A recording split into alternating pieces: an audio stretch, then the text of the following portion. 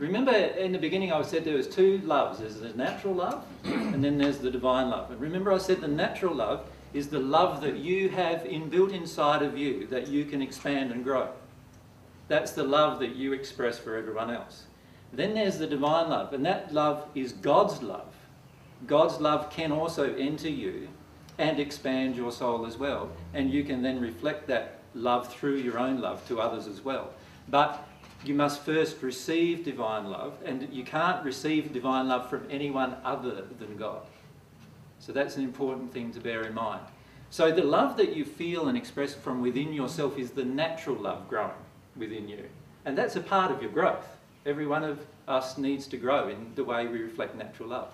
So, you know, when you feel like compassion for somebody because of their circumstance or situation, and you want to help them, well, that's your natural love being expressed to that person. Right? Now, that natural love that you're expressing to the other person can grow and change in its qualities and attributes to a new type of love when God's love enters you. So when God's love enters you, it changes your soul so much that the type of love you reflect to other people also changes. So it's important to understand, though, that it's the connection with the Holy Spirit, which is the Spirit of truth. So it's the connection between you and God at a soul level that actually lets the emotion flow through you, where you are actually connected with God. Under those circumstances, you know what truth is.